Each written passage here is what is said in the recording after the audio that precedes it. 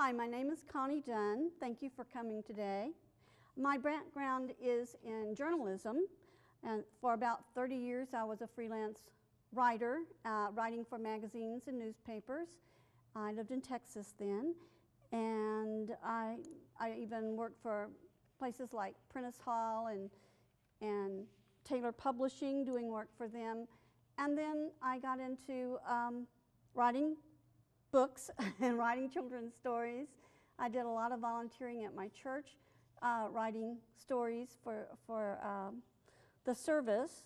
And so I just kept writing and writing and writing. And now I have loads of stories and I have been publishing them, but I've also um, done an awful lot of work with goddesses. In fact, I have been doing goddess work for probably about 30 years.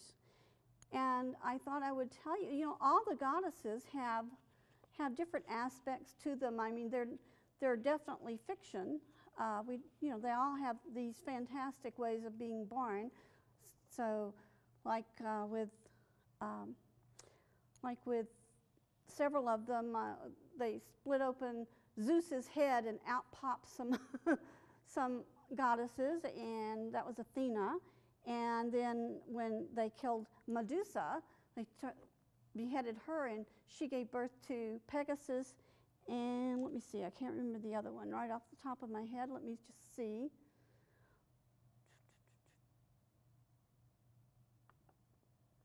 Well, I'm not sure, but she gave birth to, to a couple of things.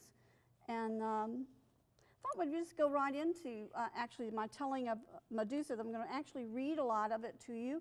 Uh, this is out of the book, and these are all uh, journals. And so they have the story of the goddess, but then they also have aspects like Medusa is all about um, abuse, sexual abuse, actually. She was raped. And you're going to hear this in here. And so it's about personal safety, so personal power, and having your personal power. And uh, all the other goddesses have their own aspects as well. So there's a lot of different ones. Uh, and this is a curriculum that I also wrote uh, to talk about uh, the different goddesses in a different way so you can learn more about them. It's not a journal, it's actually a, more like a curriculum, but you could use it as an individual or in a group. And these are, are definitely, there's going to be 12 of them, but at the moment I think there's only like eight of them. So, um, so these are, this one is Hecata, and this one is a Native American one, Selu Corn Woman. And Selu Corn Woman. I also, as you can see, I made the, made the quilts. This is what I made to uh, make the covers on them. I did the, so this is, this is uh, Corn Woman. This is Kuan Yin. See her hands, she has lots of hands and she has money coming out of her hands. Wouldn't that be nice?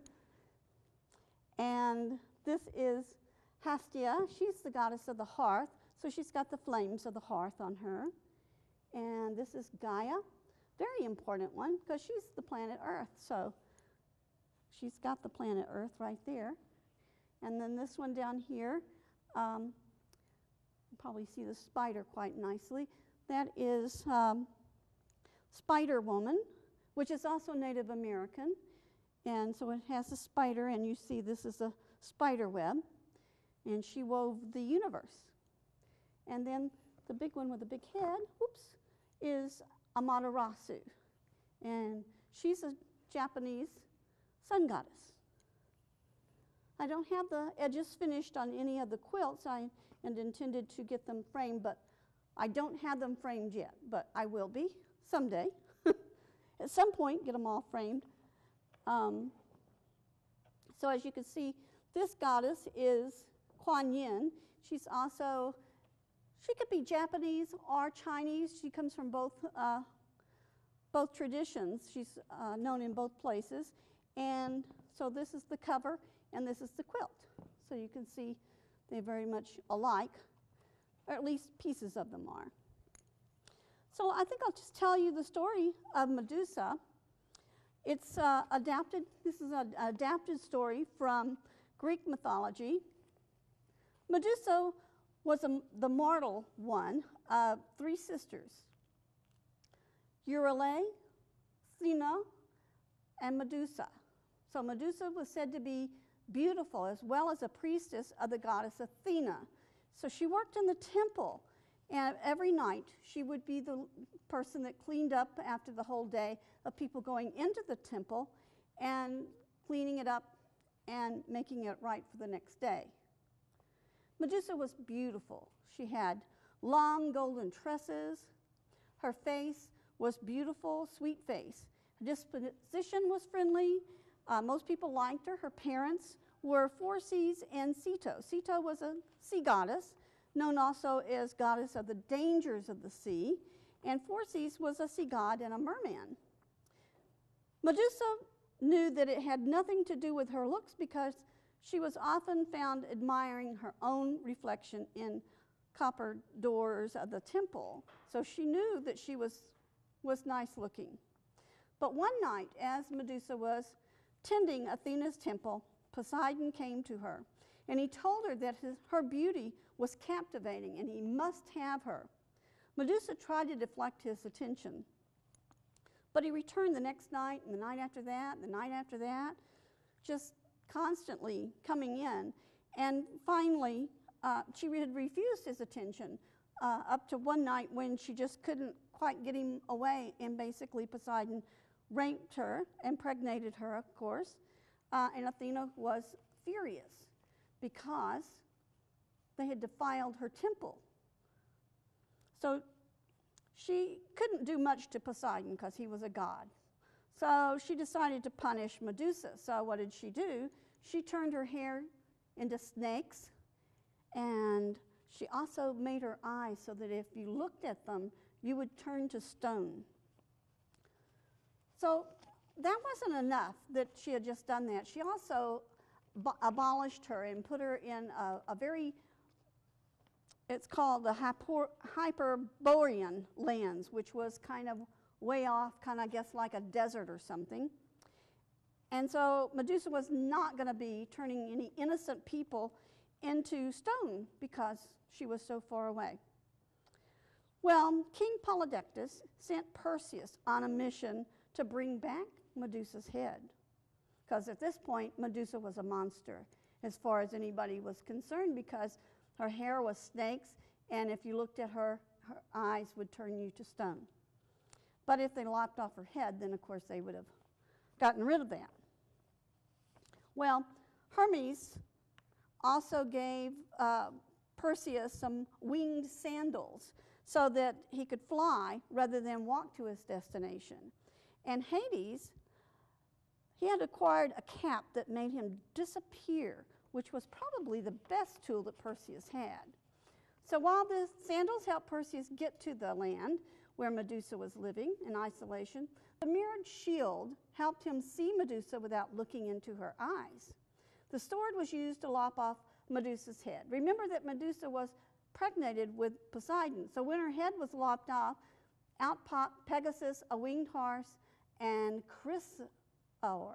Chrysaor. I don't think I'm saying that quite right, but anyway, that's, that's a large winged bear. It's the first time I've actually heard of uh, the large winged bear. I think everybody probably knows about Pegasus uh, as the winged horse. We've seen that a lot of times. Um, so, this story is, was relayed to me by Medusa. Um, she doesn't make a big deal over the rape what she was really most uh, upset over and was, was indignant about is being punished for something that wasn't her fault.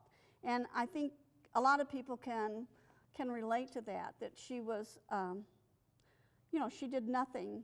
She tried to deflect the, the attentions of, of uh, Poseidon, but she couldn't get rid of him. He just kept coming back every night. And finally, he just uh, over, overran her. So she wanted her story told, and she was the victim, and she was punished in a way that took her life even before her head was taken. Uh, there was no life. If she's going to be abolished to some desolate land. So her story is about not about you feeling sorry for her. She wants justice. That's really what she wants. And so, like most things, we cannot go back and change any of these things. And we do have to remember that Medusa is part of mythology. So, it's not an actual thing that happened, although they're gods and goddesses, and people have worshiped them long ago and has resurfaced, I would say, probably in the 1960s. People kind of brought back um, the neo paganism, and goddess lore, of course, came with that. And so there are a lot of people who look at the, the goddesses and um, want to worship them. But what she really wants you to know is that when you see an injustice, try to right it or try to make it better. So that is her, it's her words. Now, in the, the um, journal that you would get if you got Medusa's journal, uh, then that would be all about finding your own personal power, social justice issues, and personal power to make those choices. So she wants you to go write those. And I really can't blame her. That's a good thing to do. Now, as you can see, there's, there's plenty of other goddesses here on the table, and each one has their own unique story. The next one I have is Yama, Yamaya, and some people say it Yamaya, but that is a nice English version of that, and there are children, I think, that have those names, but this is Yemaya, and where um, Medusa was from the Greek mythology, Yemaya is actually from West Africa. The Yorubans, actually, is, the, is more specifically. So that is uh, where she comes from. Now, Yemaya is a dream goddess. So she comes to you in your dreams. She's not the pretty little mermaid goddess that you might see on TV or in a movie. No, she was definitely not. Um, her home is a river cave in West Africa that connects to the ocean, and some people call her Mother of the Night. Close your eyes, she says. I will bring you a dream.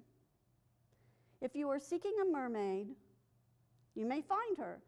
But like I said, she's not the mermaid of Hollywood. She is a dark skinned, large breasted, large boned mermaid with the strength of a killer whale, but the heart of a dolphin. Her domain is dark and cozy and tantalizingly familiar.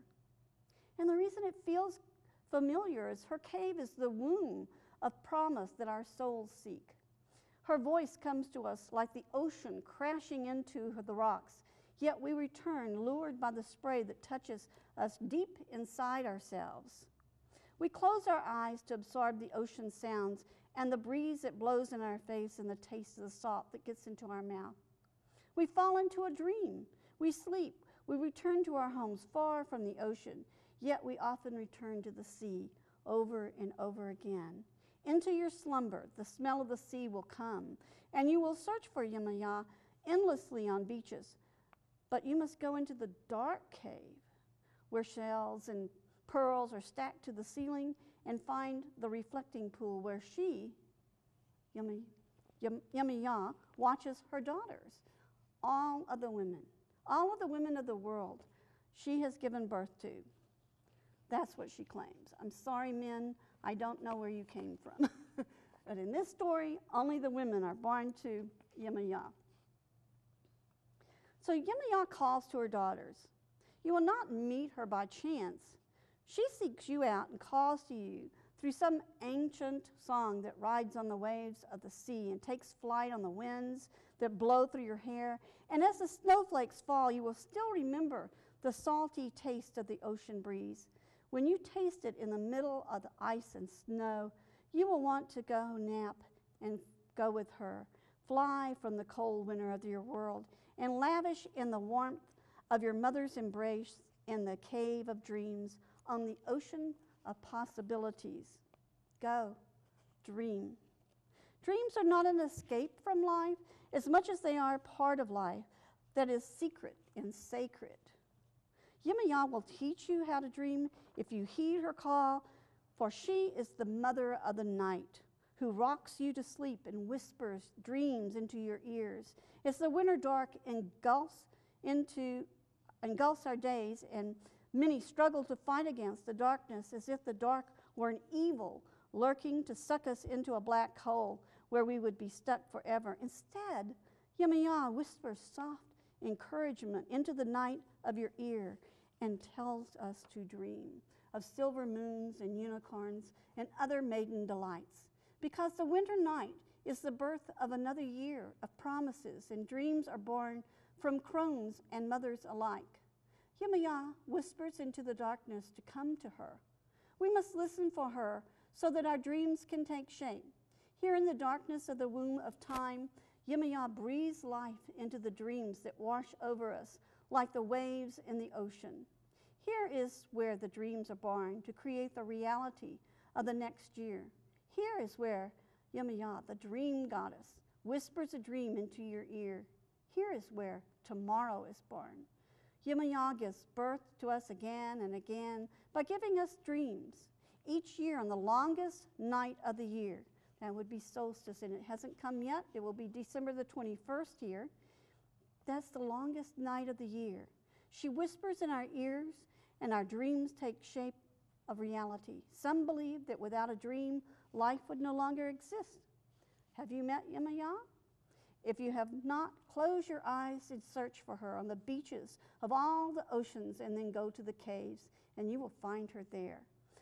There, by the reflecting pool, watching for you. For she calls to her daughters on this night, the longest night of the year. That is where I met her and how I know. Yemaya and her story.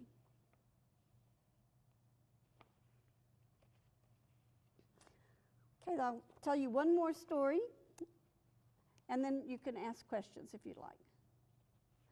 Amaterasu is my next one. I don't believe I have her book here. I'm not sure. Let me see what number she is. No, she, uh, she hasn't been published yet. But um, I guess I should tell you that Yemaya, I guess you could tell, um, Yemaya was the personal dream, so she would bring you a personal dream. And and uh, Amaterasu is about believing in yourself. So that's what this story is about. Amaterasu is the sun, Japanese sun goddess. And she's this beautiful one with a puffed head here. Let me lift her up again so that you can see her. So this is Yemaya, and I don't mean Yemaya, I mean this is Amaterasu. On the last story here, this is Amaterasu, and she looks like a sun because she is the sun goddess. That's who she is.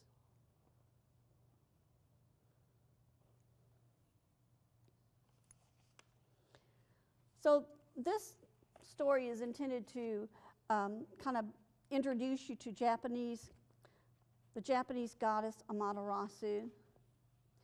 And my resources, of course, are Japanese Shinto folk tales, which is where Amaterasu comes from.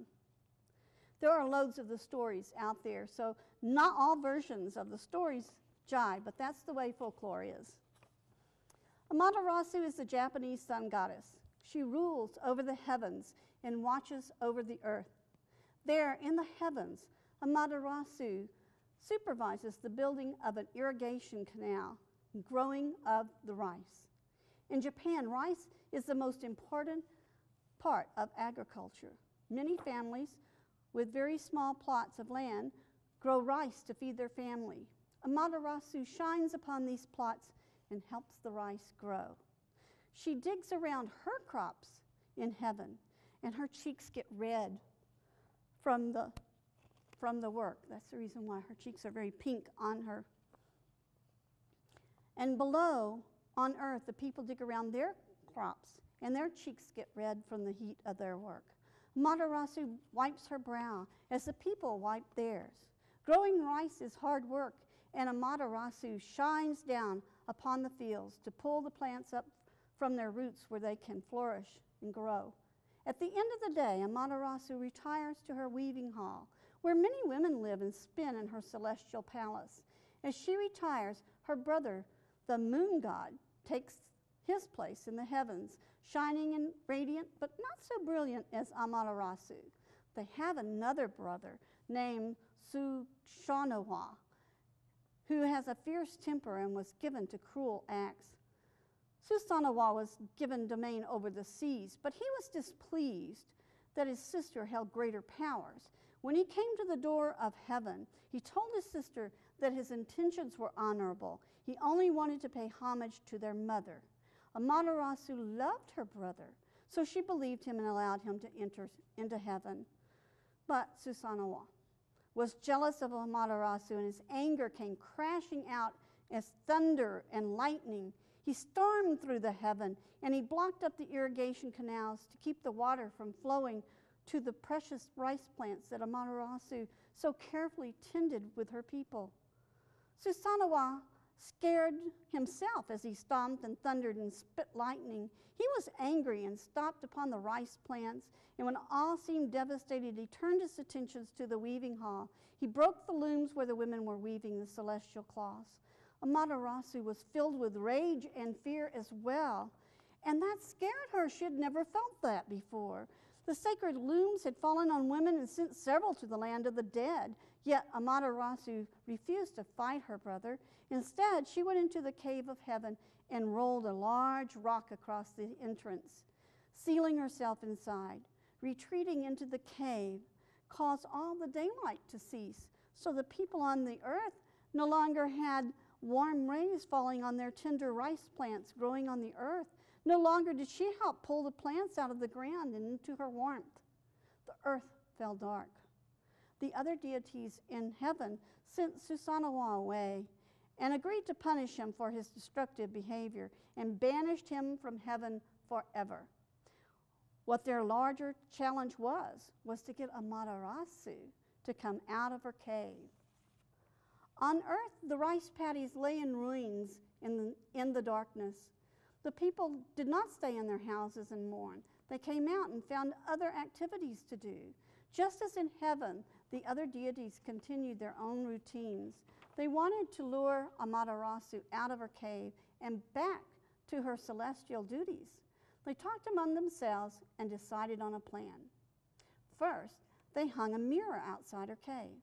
Then they all sat together, laughing at the stories of the playful shaman Amanozumi, goddess of mirth and laughter.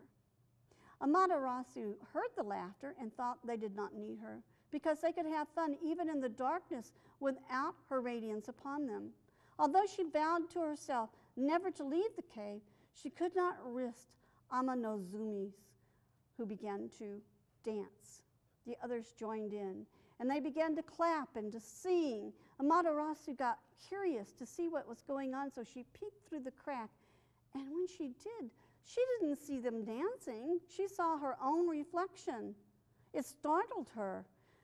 She had never seen herself. She jumped back in that startle, startling way. And then slowly she peeked through the crack again, and she saw her own image brilliantly reflected back to her. She liked what she saw. It was then that Amaterasu knew her own beauty.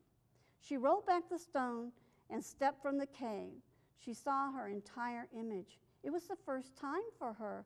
She had never seen how beautiful and amazing she was actually like. And she kind of liked what she saw. The others closed off the cave of heaven. Amaterasu did not go back. She smiled upon her people of the rice fields, and again the daylight was returned to the heavens. Amaterasu learned how to use her own power. Each time Susannawa returns into the, turns into the storm god, she knows just how to stop him, not by fighting him, but knowing she has the power over light and dark. Amaterasu became another one of my favorite goddess stories to tell. She invokes happiness within my soul and makes me feel the warmth, the warm sun on my face. So that is the goddesses I plan to talk to you about today. Does anyone have any questions? Yes. Could you show us one of your journals and how it's laid out and tell us some of the benefits of journaling? Yes, I sure can. Journaling is something that a lot of people do. Um, I'm going to say mostly women. That doesn't mean that men don't journal, men do. Um, there's a table of contents, and in it, it tells you about the goddess, uh, learn about the goddesses and the focus, and how to use this personal goddess journal. And they tell you of the story Oya and the focus highlight, because each one's going to have a different one. And there are also pictures throughout that you can color if you're into coloring. It's also a very meditative thing to color. And so the, the story is here. And the focus highlight. So this is all about motherly love because this one is Selu Corn Woman. And then we get into the reflection. And so I've asked some questions. And this one I say, let us get comfortable, breathe deeply, blow your breath out slowly, and do this cleansing breath three times until you feel relaxed. Think about a time when you were a recipient of motherly love, which could come from your biological mother or a mother figure in your life. How did it make you feel? What were the circumstances around this situation? And then I give you a place that you can answer that. And then I give you another thing to think about a time when you exhibited motherly love toward another human. Your children are other people. It doesn't necessarily have to be a child that you use that with. You could, it could be even a nephew or a niece or younger sibling, or for that matter, it could be an older person that you were being very motherly to. What were the circumstances surrounding that event and how did it make you feel? So then there's a place to answer that. And then we're going to go into the second part, which are the daily journal pages. And so I have coloring pages, and then there is um, a daily page, and I'm going to ask you three questions. And in this one is today, I feel my mother's love by. And then the second question is today, I felt motherly too. And who is that? Uh, by. And then today, I felt motherly to some non-human entity. Maybe it was a maybe it was a, a, a, pet or something. So then that's something that is asked every day, and there are then also doodle coloring pages, so you can doodle. If you're into Zen Doodle, you just you know make your squiggly line and then put some doodles in like circles and um, squares or triangles, any of that, and then you could color them in. And so the rest of the book is actually filled with the very same things. So there were therefore 30 or 31 days. Well, anywhere from 28 to 31 days. So there's plenty of room if the month has 31 days. So that's the whole idea is to do it as a monthly. Did I answer your question? You have anyone has a, another question? Yes? If one wants to learn more about goddesses, what are some good resources? Well, there's a lot of information online, but if you're really wanting to know more about goddesses, you could actually buy this guide. It's learning from the ancient goddesses of the indigenous cultures from around the world. This is a 12 session goddess course for groups and individuals. So it, it's set up so that you could do this uh, alone at home, and it's set up for each chapter has a different goddess, and it has a lot of information in here uh, about how to work with your, your uh, goddesses. And then it has the stories and has, um, has, some, has some activities. So there's some, there's some essays and that sort of thing in here. So each one has, each, each session has some general information. Uh, it has, um, has, tells you how to set up your altar. Does anyone have an altar at home? Those are nice uh, to, to have, uh, personal altars, and you can put things on them that are sacred to you. And so then you'd call in the directions and you call upon your foremothers, and then you uh, might read this essay and then the story, and then you would um, do a planned activity, which is all written out and tells you what to do. And so each session is a little bit different. And of course, they each have different goddesses. But they are the same goddesses that I have here for the most part. And I can give you bookmarks, and this tells you before you leave. I definitely want to do that. That tells you my information. It has the personal goddess journals on the front, and in the back, it has all of my information. And I can be reached at uh, publishwithconnie at gmail.com. That's publish with Connie, all lowercase, jammed together, at gmail.com. And so it also tells you where you can buy these journals. All you have to do is to go to amazon.com slash author slash Connie Dunn, and all of that's lowercase and no spaces. So that is uh, how you would reach me. And uh, before you leave, I want everyone to take a copy of this so that you'll be able to find the, the books and buy them for yourself. There will be 12 of them. Like I said, I'm not quite all the way through publishing them, but uh, I'm in the middle of it. Thank you for coming, and if you have other things to say, I'll be here afterwards.